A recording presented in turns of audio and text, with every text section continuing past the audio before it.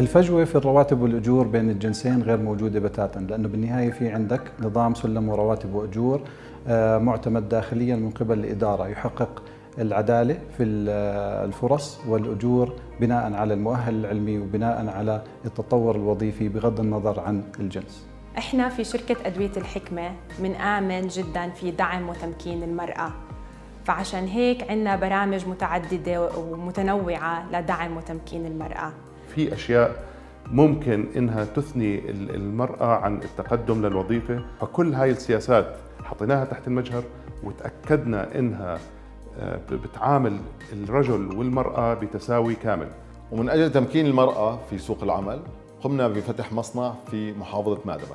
كانت فكرة منه أنه نقرب المصنع لأماكن سكن الموظفات وقدمنا لهم مواصلات رواتب حسب سلم وظيفي وحوافز إنتاجية حوافز حضور بتساعدهم على تحسين مستواهم الوظيفي من خلال بيئة عمل مناسبة. يعتبر قطاع ال IT من القطاعات الصعبة على النساء لأنه من القطاعات المتطلبة. نفخر بMENA ITech إنه إحنا وفرنا الجو البيئة المناسبة إنه يكون 60% من ال top management أو الإدارة العليا عندنا هي من النساء العاملات. 70% من الموظفين في البايولاب هم من الإناث. وجود حضانة في المدرسة تعنف الأطفال من عمر 70 يوم لعمر أربع سنين. وبما أنه معظم الموظفين في الشركة عندنا إناث فعندنا عدد كبير من المتزوجات والأمهات. فارتقينا أنه أنسب نقدم لهم حضانة لرعاية أطفالهم من عمر 70 يوم إلى عمر الأربع سنين. وذلك لتقديم الراحة النفسية للأمهات خلال وجودهم في مكان عملهم. بالإضافة إلى ساعة الرضاعة التي يمنحها القانون للأم. الشركة عنا أعطت ساعتين زيادة للأم حتى تقدر توازن بين آه، عملها ورعاية أطفالها لمدة سنة كاملة. زدنا آه، ساعة الأمومة وساعة الرضاعة للستات فصفت عنا 18 شهر بدل ال 12 شهر. وزدنا رعاية الأمومة للستات بدل 70 يوم صارت عندنا 90 يوم. إحنا عندنا في المدرسة غرفة انتظار لأنه العاملات المعلمات آه، بينهوا دوامهم بعد نهاية دوام الأطفال. فالأطفال بيكونوا في غرفة الانتظار مع معلمات مختصات بيساعدوهم فيها آه، تعليم أيضا. وطبعا ما نسينا الآباء. بالنسبة للآباء بنقدم لهم ثلاث أيام إجازة أبوة من وقت ولادة الطفل. وفي عندنا ميزة خاصة للموظفين الذكور بأنه عندهم يوم إجازة أبوة.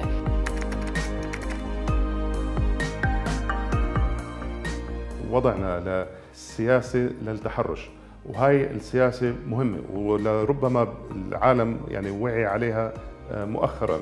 ولكن حقيقة هي تكفل للمرأة بيئة رفيقة بيئة بتجد المرأة فيها نفسها من غير أي ضغوط.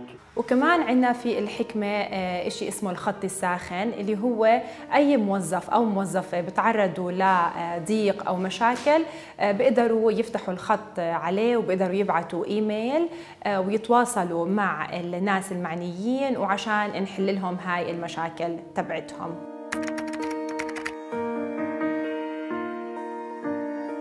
نظام الدوام المرن بحيث يسمح هذا النظام للموظفين سواء كانوا الذكور أو الإناث أنهم يلتحقوا بعد موعد بدء الدوام.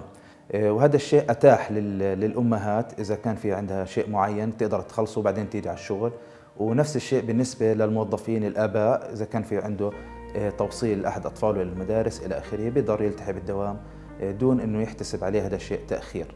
طبعا من ميزات الساعات العمل اللي في البيت أو المرنة إنه نقدر نحافظ على الموظفين اللي أخذوا خبرة واشتغلوا معنا وبنفس الوقت بنحافظ عليهم وما بنخسرهم.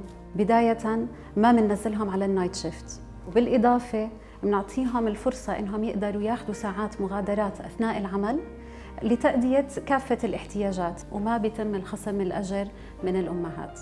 إحنا بنوفر لهم أرصدة إجازات سنوية من سبع ل 10 أيام إضافية على رصيدهم السنوي بحيث يقدروا يوائموا بين احتياجاتهم في العمل ويوائموا بين احتياجاتهم المنزلية. لأنه إحنا بنتعامل مع جدول حصص مدرسي بنساعد المعلمات الأمهات بترتيب جدول الحصص بشكل يمكنهم يجوا على المدرسة متأخرين أو يروحوا بكير للعناية بأطفالهم.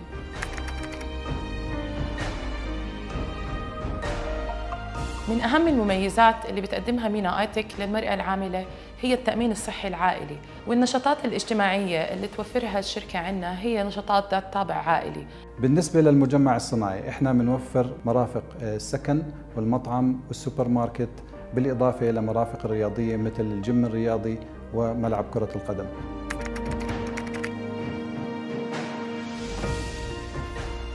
وكل هاي الميزات اللي قدمناها للموظفين ساعدت في خلق بيئة عمل مناسبة لتحسين الكفاءة الإنتاج وذلك أنه خفت الغيابات بشكل كبير بشكل ملحوظ وخفت الدوران الوظيفي مما ساعد على رفع الكفاءة الإنتاجية وتحسين الأرباح. هذا كله أدى أنه يكون عندنا معدل الدوران الوظيفي للنساء قليلة جدا. انعكس بفائدة كثير كبيرة للشركة وللموظفين الذكور والإناث. انعكس على قلة نسبة الاستقالات كمان بين الذكور والإناث. وفي نفس الوقت انعكس على مدى الرضا الوظيفي آه، عند الموظفين. وخلى الموظفين يحضروا إلى الدوام بنفسية مرتاحة. هذا الإشي أدى إلى زيادة نسبة الانتماء للشركة وقلت نسبة الاستقالات عندنا بالشركة بدرجة كثير كبيرة.